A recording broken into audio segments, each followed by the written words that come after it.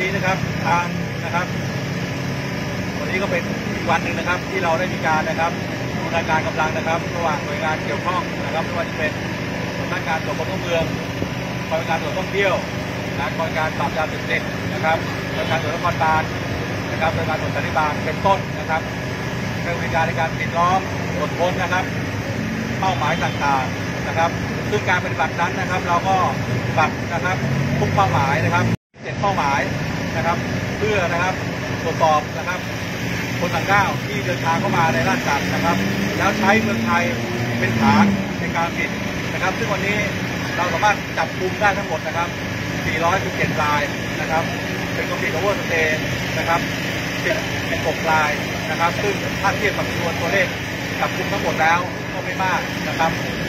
เรายังมีความผิดกฎหมายเข้าเมืองนะครับ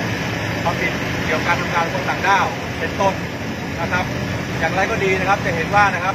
ผลจากโดยทั่วประเทศนะครับ ก็ทำให้นะครับการรับแจ้งนะครับ ความผิดเกี่ยวกับวัตกรรมในรอบอาทิตย์ที่ผ่านมานะครับไม่มีการรับแจ้งลดน้อยลงนะครับก็ถือว่าพี่น้องคนไทยนั้นถูกหลอก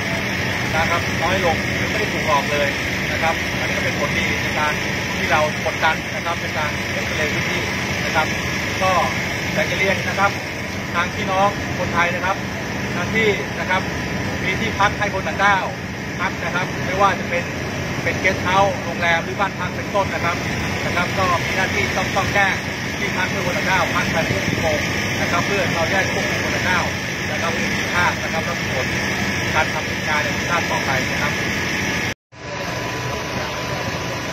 กัมพูชาว่ะลาว